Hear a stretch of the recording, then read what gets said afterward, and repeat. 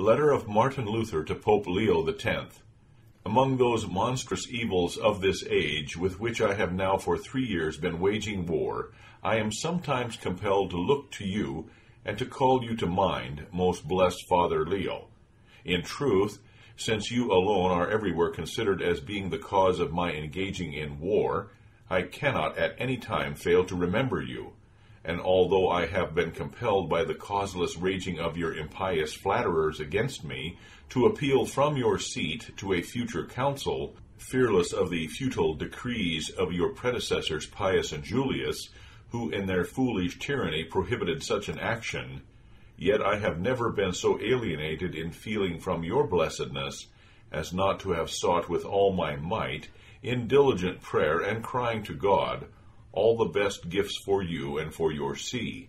But those who have hitherto endeavored to terrify me with the majesty of your name and authority, I have begun quite to despise and triumph over. One thing I see remaining which I cannot despise, and this has been the reason of my writing anew to your blessedness, namely, that I find that blame is cast on me, and that it is imputed to me as a great offense that in my rashness I am judged to have spared not even your person. Now, to confess the truth openly, I am conscious that whenever I have had to mention your person, I have said nothing of you but what was honorable and good. If I had done otherwise, I could by no means have approved my own conduct, but should have supported with all my power the judgment of those men concerning me, nor would anything have pleased me better than to recant such rashness and impiety. I have called you Daniel and Babylon, and every reader thoroughly knows with what distinguished zeal I defended your conspicuous innocence against Sylvester, who tried to stain it.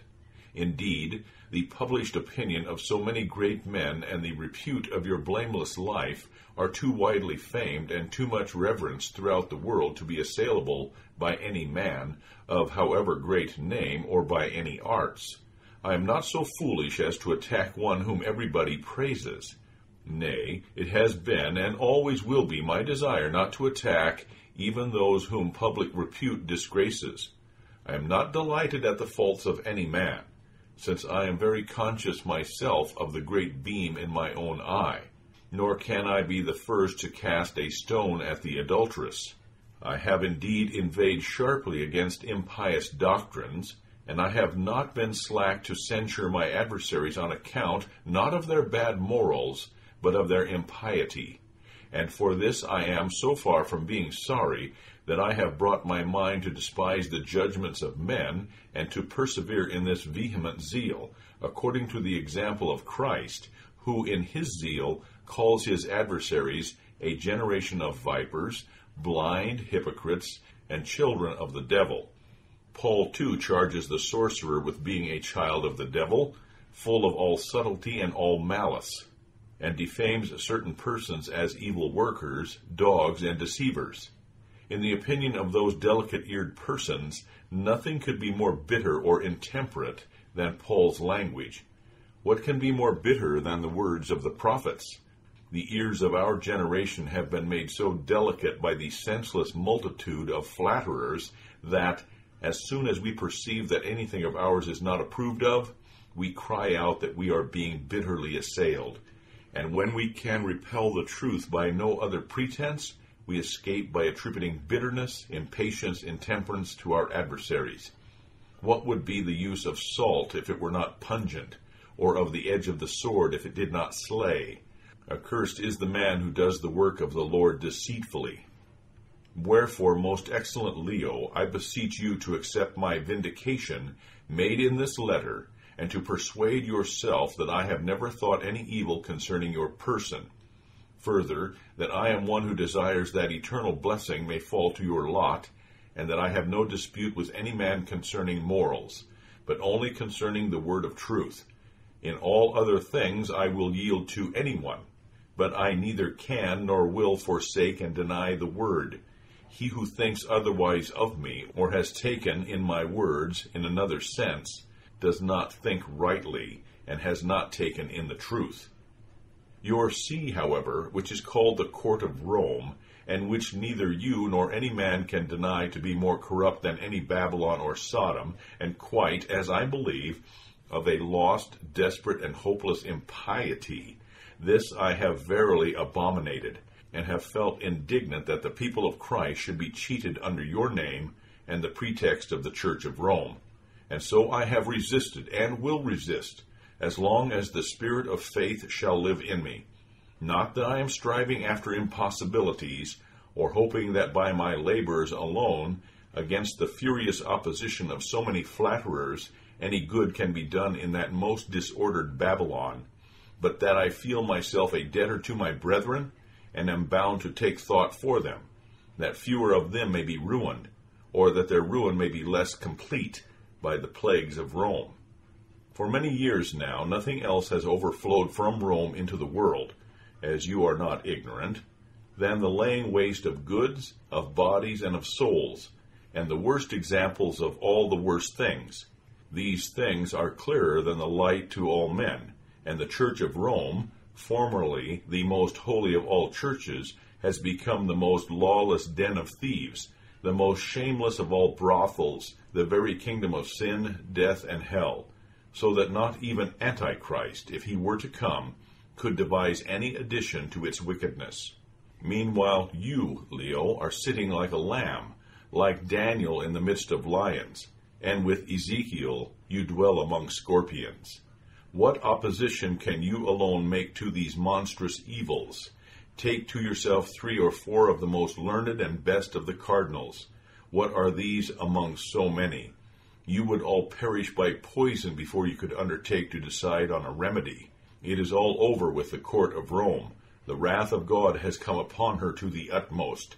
She hates councils, she dreads to be reformed, she cannot restrain the madness of her impiety, she fills up the sentence passed on her mother, of whom it is said, We would have healed Babylon, but she is not healed, let us forsake her. It has been your duty and that of your cardinals to apply a remedy to these evils, but this gout laughs at the physician's hand, and the chariot does not obey the reins. Under the influence of these feelings, I have always grieved that you, most excellent Leo, who were worthy of a better age, have been made pontiff in this. For the Roman court is not worthy of you and those like you, but of Satan himself, who in truth is more the ruler in that Babylon than you are. Oh, would that having laid aside that glory which your most abandoned enemies declared to be yours, you were living rather in the office of a private priest or on your paternal inheritance. In that glory none are worthy to glory, except the race of Iscariot, the children of perdition. For what happens in your court, Leo, except that, the more wicked and execrable any man is, the more prosperously he can use your name and authority for the ruin of the property and souls of men, for the multiplication of crimes, for the oppression of faith and truth and of the whole church of God. O Leo, in reality, most unfortunate, and sitting on a most perilous throne, I tell you the truth, because I wish you well. For if Bernard felt compassion for Eugenius III, formerly abbot of St. Anastasius, his Anastasius at a time when the Roman see, though even then most corrupt, was as yet ruling with better hope than now, why should not we lament, to whom so much further corruption and ruin has been added in three hundred years? Is it not true that there is nothing under the vast heavens more corrupt, more pestilential, more hateful than the court of Rome? She incomparably surpasses the impiety of the Turks, so that in the very truth she, who was formerly the gate of heaven, is now a sort of open mouth of hell, and such a mouth as, under the urgent wrath of God, cannot be blocked up, one course alone being left to us wretched men, to call back and save some few, if we can, from that Roman gulf. Behold, Leo, my father, with what purpose and on what principle it is that I have stormed against that seat of pestilence. I am so far from having felt any rage against your person that I even hope to gain favor with you, and to aid you in your welfare by striking actively and vigorously at your prison, nay, your hell. For whatever the efforts of all minds can contrive against the confusion of that impious court will be advantageous to you and to your welfare and to many others with you. Those who do harm to her are doing your office. Those who in every way abhor her are glorifying Christ. In short, those are Christians who are not Romans. But to say yet more, even this never entered my heart, to inveigh against the court of Rome, or to dispute at all about her. For, seeing all the remedies for her health to be desperate, I looked on her with contempt, and, giving her a bill of divorcement, said to her, He that is unjust, let him be unjust still, and he that is filthy, let him be filthy still giving myself up to the peaceful and quiet study of sacred literature, that by this I might be of use to the brethren living about me. While I was making some advance in these studies, Satan opened his eyes and goaded on his servant John Echius, that notorious adversary of Christ, by the unchecked lust for fame, to drag me unexpectedly into the arena, trying to catch me in one little word concerning the primacy of the Church of Rome, which had fallen from me in passing. That boastful Thraso, foaming and gnashing his teeth, proclaiming that he would dare all things for the glory of God and for the honor of the holy apostolic seat, and being puffed up respecting your power, which he was about to misuse, he looked forward with all certainty to victory, seeking to promote not so much the primacy of Peter as his own preeminence among the theologians of this age for he thought it would contribute in no slight degree to this if he were to lead Luther in triumph. The result having proved unfortunate for the sophist, an incredible rage torments him, for he feels that whatever discredit to Rome has arisen through me has been caused by the fault of himself alone. Suffer me, I pray you, most excellent Leo, both to plead my own cause and to accuse your true enemies I believe it is known to you in what way Cardinal Cajetan, your imprudent and unfortunate, nay, unfaithful legate, acted towards me, when, on account of my reverence for your name, I had placed myself and all that was mine in his hands, he did not so act as to establish peace, which he could easily have established by one little word, since I at that time promised to be silent, to make an end of my case, if he would command my adversaries to do the same. But that man of pride, not content with this agreement, began to justify my adversaries, to give them free license, and to order me to recant, a thing which was certainly not in his commission. Thus, indeed, when the case was in the best position, it came through his vexatious tyranny into a much worse one. Therefore, whatever has followed upon this is the fault not of Luther, but entirely of Cajetan, since he did not suffer me to be silent and remain quiet, which at that time I was entreating for with all my might. What more was it my duty to do?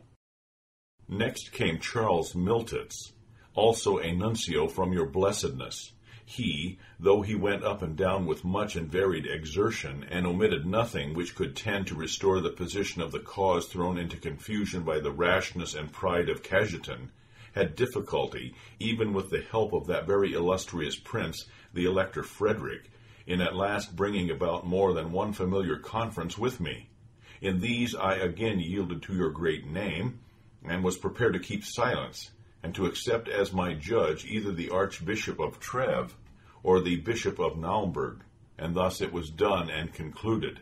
While this was being done with good hope of success, lo, that other and greater enemy of yours, Echius, rushed in with his Leipzig disputation, which he had undertaken against Karlstadt, and having taken up a new question concerning the primacy of the Pope, turned his arms unexpectedly against me, and completely overthrew the plan for peace. Meanwhile, Charles Miltitz was waiting, disputations were held, judges were being chosen, but no decision was arrived at, and no wonder, for by the falsehoods, pretenses, and arts of Echius, the whole business was brought into such thorough disorder, confusion, and festering soreness, that, whichever way the sentence might lean, a greater conflagration was sure to arise. For he was seeking, not after truth, but after his own credit. In this case, too, I omitted nothing which it was right that I should do. I confess that on this occasion no small part of the corruptions of Rome came to light. But, if there was any offense in this, it was the fault of Echius, who, in taking on him a burden beyond his strength, and in furiously aiming at credit for himself, unveiled to the whole world the disgrace of Rome. Here is that enemy of yours, Leo, or rather of your court. By his example alone we may learn that an enemy is not more baneful than a flatterer. For what did he bring about by his flattery except evils which no king could have brought about? At this day the name of the court of Rome stinks in the nostrils of the world. The papal authority is growing weak, and its notorious ignorance is evil spoken of. We should hear none of these things, if Echius had not disturbed the plans of Miltitz and myself for peace. He feels this clearly enough himself in the indignation he shows, too late and in vain, against the publication of my books. He ought to have reflected on this at the time when he was all mad for renown, and was seeking in your cause nothing but his own objects, and that with the greatest perils to you. The foolish man hoped that, from fear of your name, I should yield and keep silence, for I do not think he presumed on his talents and learning.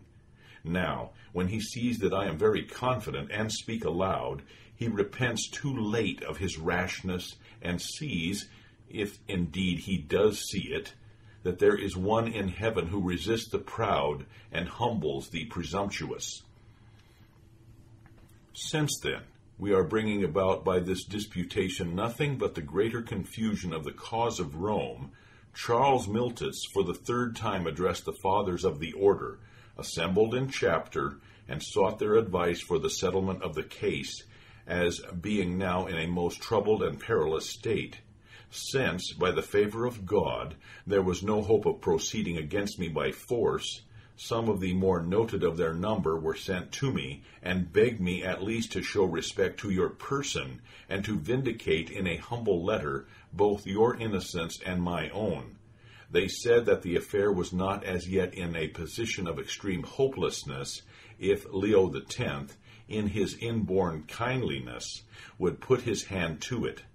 On this I, who have always offered and wished for peace, in order that I might devote myself to calmer and more useful pursuits, and who for this very purpose have acted with so much spirit and vehemence, in order to put down by the strength and impetuosity of my words, as well as of my feelings, men whom I saw to be very far from equal to myself, I, I say, not only gladly yielded, but even accepted it with joy and gratitude as the greatest kindness and benefit, if you should think it right to satisfy my hopes.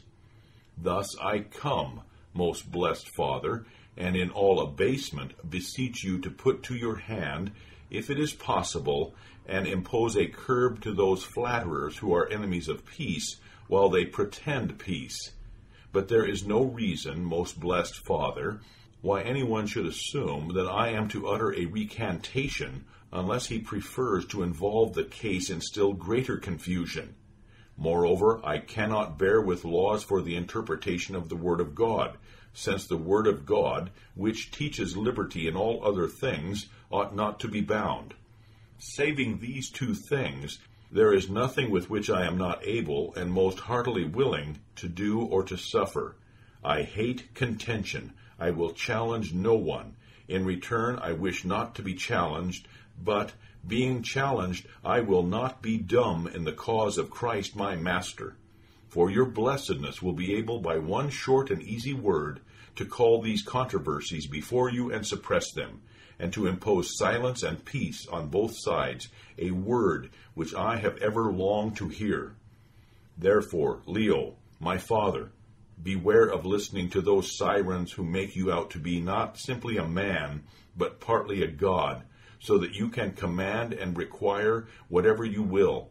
It will not happen so, nor will you prevail. You are the servant of servants, and more than any other man, in a most pitiable and perilous position.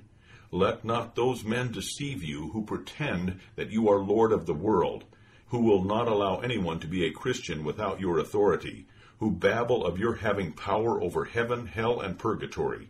These men are your enemies and are seeking your soul to destroy it.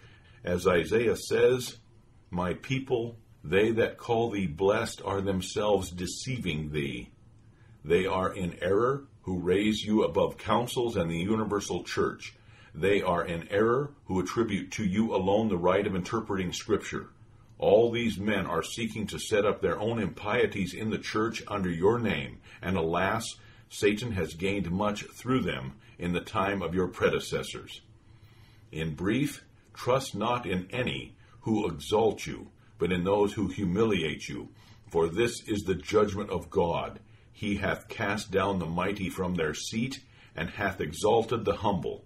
See how unlike Christ was to his successors, though all will have it that they are his vicars. I fear that in truth very many of them have been in too serious a sense his vicars, for a vicar represents a prince who is absent. Now if a pontiff rules while Christ is absent, and does not dwell in his heart, what else is he but a vicar of Christ? And then what is that church but a multitude without Christ? What indeed is such a vicar but Antichrist and an idol? How much more rightly did the apostles speak who call themselves servants of a present Christ, not the vicars of an absent one. Perhaps I am shamelessly bold in seeming to teach so great a head, by whom all men ought to be taught, and from whom, as those plagues of yours boast, the thrones of judges receive their sentence. But I imitate St. Bernard in his book concerning considerations addressed to Eugenius a book which ought to be known by heart by every pontiff. I do this not from any desire to teach, but as a duty, from that simple and faithful solicitude which teaches us to be anxious for all that is safe for our neighbors, and does not allow considerations of worthiness or unworthiness to be entertained, being intent only on the dangers or advantage of others. For since I know that your blessedness is driven and tossed by the waves of Rome, so that the depths of the sea press on you with infinite perils, and that you are laboring under such a condition of misery that you need even the least help from any the least brother, I do not seem to myself to be acting unsuitably if I forget your majesty till I shall have fulfilled the office of charity. I will not flatter in so serious and perilous a matter, and if in this you do not see that I am your friend and most thoroughly your subject, there is one to see and judge. Finally, that I may not approach you empty handed, blessed Father, I bring with me this little treatise, published under your name, as a good omen of the establishment of peace and of good hope. By this you may perceive in what pursuits I should prefer, and be able to occupy myself to more profit, if I were allowed, or had been hitherto allowed, by your impious flatterers. It is a small matter if you look to its exterior, but, unless I mistake, it is a summary of the Christian life put together in small compass if you apprehend its meaning. I, in my poverty, have no other present to make you, nor do you need anything else than to be enriched by a spiritual gift. I commend myself to your paternity and blessedness whom may the Lord Jesus preserve forever. Amen. Wittenberg, 6th of September, 1520.